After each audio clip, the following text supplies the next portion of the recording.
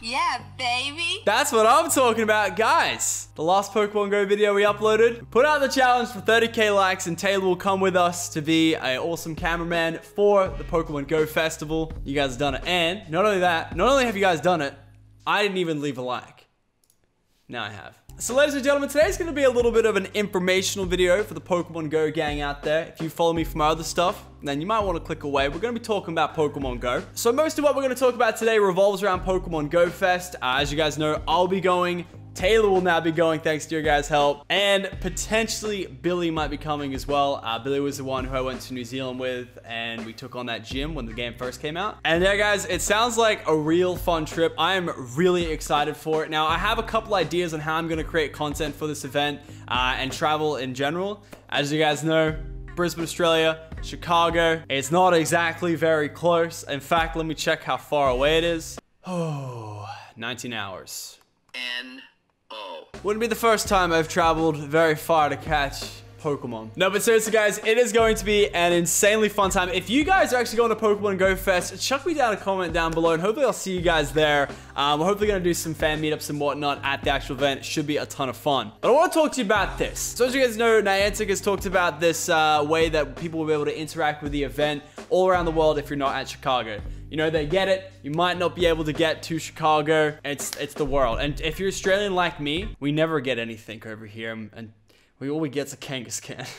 and this time we got a little bit gypped again, but you know, it's whatever. We'll just we'll just disappear. So I'm gonna read through this information post that went out yesterday. Actually, just looking at this now, we're actually nine days away. Today's the 13th. We're nine days away from Pokemon Go Fest. Whew. I've got some plans to what we're gonna be doing the next week before that as well, which I'll tell you at the end of the video. But anyway, trainers, over the next few months, we'll be hosting a number of events taking place around the world in celebration of Pokemon Go's one year anniversary. No matter where you live, you're invited to join in the fun. So I'm gonna go through this first, and then I'm gonna give my opinions and what I think these events will be for and how they'll work.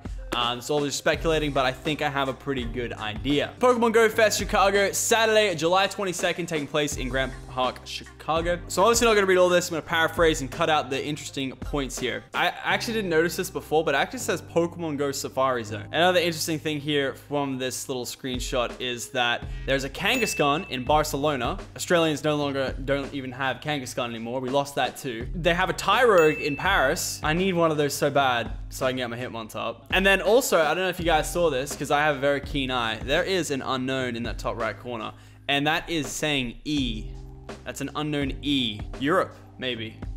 Actually, it's all of Europe, so I'll, I'll, put a safe bet in with Europe. So here we go. We're talking about the global challenges that trainers at the event actually unlock for special rewards worldwide. During the day, there will be three challenge windows in which trainers everywhere will work alongside those in Chicago to unlock global rewards. So during the challenge windows, trainers in Grant Park will attempt to unlock perks of Pokemon Go players around the world by catching certain types of Pokemon. Each Pokemon type will be tied to a different perk, so trainers at the park will need to carefully choose which Pokemon they catch.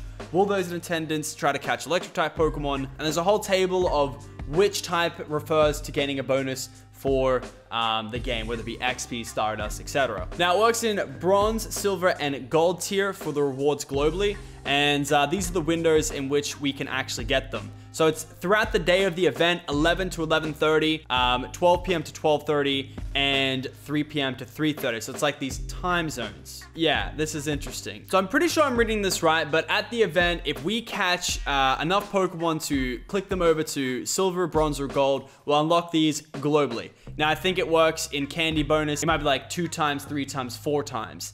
Uh, XP bonus might be the same thing, one times, two times, three times. I, I'm kind of assuming they might be balancing for different places in there. But I went on the Silph Road Reddit and uh, someone put up this poll for what they want people to work towards at the event uh, and what they want the most from. And uh, kind of clearly everyone is saying Stardust, get the grass, go, go Stardust. Now, based off of what I've played, I think on my phone, I think the most types I've ever caught is grass types. So judging by how many Pokemon are actually in the game, depending by type, I'm pretty sure grass is the most dominant. So I think this will get done either way, unless they manipulate the spawns a little bit, which I potentially could do. It's definitely going to be interesting. And guys, leave a comment down below what you want me to work for. I am your slave. And don't worry, I'll be slaving away during these times. I reckon I'll have so many videos from this event. I'm actually so excited. You have no idea. I've been this excited for an event since I can't think of one. Since I went to Japan. Japan was so much fun. Yeah.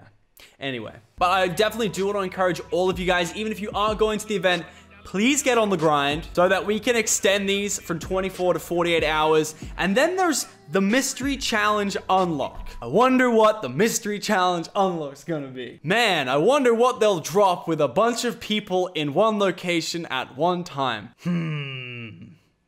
Hmm. I wonder what's in the code and been leaked ages ago with level 5 eggs. Hmm. I think it's definitely uh, pretty obvious at this stage. There's so much hype around it. There's, I think it's almost confirmed, but we have to unlock it. So it's going to be interesting. So trainers around the world actually have to catch enough Pokemon to unlock the challenge for us at the park and then us at the park have to then complete the challenge so that so that it will unlock an extra special bonus across the globe. Uh, judging by how that's saying there. So if I was going to assume this is a legendary, you guys catch enough Pokemon for us, then we get to do the legendary, then we unlock for everyone else. That's speculating at this point, assuming that mystery challenge is that, or it could be another hat. Ash second generation or third generation hat. I want that one. Make it happen, Niantic, please. I love me some hats. Actually, no, I don't. I don't want a hat. I know what I want. I want these. I want the Squirtles with the glasses. They're the sickest thing in the anime. We need those. Can we get some Squirtles with some glasses, please? Thank you. So then I've got the phase two here, the mystery challenge. The challenge window is specifically from 6 p.m. to 7 p.m. and achieve gold tier in phase one's worldwide catch challenge to unlock the mystery challenge inside Grant Park. So we actually need you guys to work this out for us. And then they have they have the leaders from Mystic Valor and Instinct so maybe thinking the legendary birds might only come out because I think they symbolize the birds. I don't know about, I feel like Mew might be like maybe like a special kind of thing you get when you go to the event. I, it's all gonna be interesting really. And then the global reward, we unlock it for everyone else out in the world and then it's from 23 to 24th. Um, so yeah. So this is the other part of it as well. Uh, Pokemon Go Safari Zones in Europe. So uh, we're excited to announce the variety Pokemon Go Safari Zones taking place at select uh, shopping centers during August and September. All seven Pokemon Go Safari Zone events will give trainers the opportunity to catch a wide variety of Pokemon in special zones featuring Pokemon originally encountered in the Kanto and Johto region, including some Pokemon never before encountered in Europe. Additionally, trainers in attendance will be joining forces to take on unique and powerful raid bosses that will be making an appearance at these events. Hmm, wonder what those could be. And I suppose the main reasoning for this is that, I mean, level 4 raids require, I think, they suggest this party size of around 17 to 20. I think you can get away with it with 10 people who know what they're doing, maybe 5 if they know what they're doing. Me and Ando had a real tough time doing that solo Venusaur with 3 people, and we didn't get close. I'd say you'd probably 10 people know what you're doing, and if you extrapolate that to the legendaries, which God knows what their multiplier for the CP is, I think it might have been leaked actually, actually, maybe. Um, but I would suggest you only party sizes of 50. And I mean, back in the start of when Pokemon Go came out, it was pretty easy to get 50 people in the city playing Pokemon Go. Wouldn't be too bad. And these days, that might not be too easy to get. And I feel like these events are trying to bring people together so that everyone can manage to, you know, take it down and get it. And the thing is, when you actually take it down as well, um, who knows if you're even gonna catch it, right? I think we're gonna need some Master Balls, fam. Imagine if we could buy Master Balls in the store. That'd be sick. Um, but yeah, definitely, I mean, that kind of confirms at that point there's a Kangaskhan in Barcelona. It looks like they're going to get access to regionals, which has been up in the air at the moment whether or not Chicago will get regionals. I feel like they will just because it kind of makes sense, I think. I won't be walking around thinking I'm very cool with my Kangaskhan because everyone in the park probably will already have it, which is what I intended to do. I was going to put it in all the gyms for everyone. That and my Farfetch'd. Humble brag, I caught all six regional Pokemon. What? Um, and then there's some Pikachu Outbreak in Japan. The Pokemon Company will be hosting its annual Pikachu Outbreak event, um, where a special Pokemon Go experience is taking place. More information about Pikachu Outbreak will unveiled by the Pokemon Company in the coming days, so stay tuned for the exciting details. Might have to go back to Japan. Yeah kind of be down for that. Love Japan. And then they've got another big heritage update taking place on the United Kingdom. So this is at the same time they're doing Pokemon Go at Big Heritage Festival. I just realized I'm going to be in Germany for Gamescom, but that's like August. It's like August 29th, 26th. Ah. Missed it by like two weeks. Dang it. So yeah, guys, that's kind of just a little bit of a wrap. Just wanted to check in with you guys, talk to you about this event. If you guys are going, once again, definitely do look out for me. I'm, I'm planning to make a bunch of sick vlogs. And throughout the next week, me and my boy Taylor are going to be extra hustling to try and complete a few more Pokedex entries on my Pokedex. And guys, like, this is how bad it's gotten. I was in the DMs with Ali the other day, and I chalked in my Pokedex, caught a few more. I was like, hey, yo, what's your dex number at?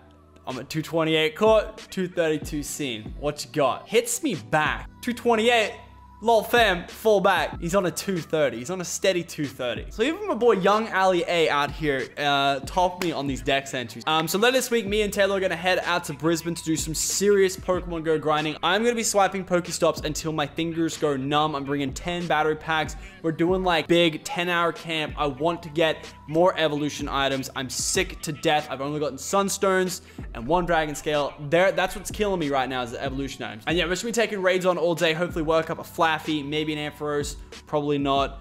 We'll see how we go. More details on that. Follow me on Twitter for more updates. We'll let you know when that's happening so you can come meet us in the city of Brisbane. Of course, if you live in Brisbane and help us out with some raids. Anyways, guys, I'm your hype man. That was Pokemon Go PokeFest recap, hyping up legendaries. Will it happen? Highly probable. And yeah, I'll give you more info when it comes out. Uh, leave a like if you're excited, and I will see you guys next time in the next video, whether it be Pokemon Go or something else. Later, guys.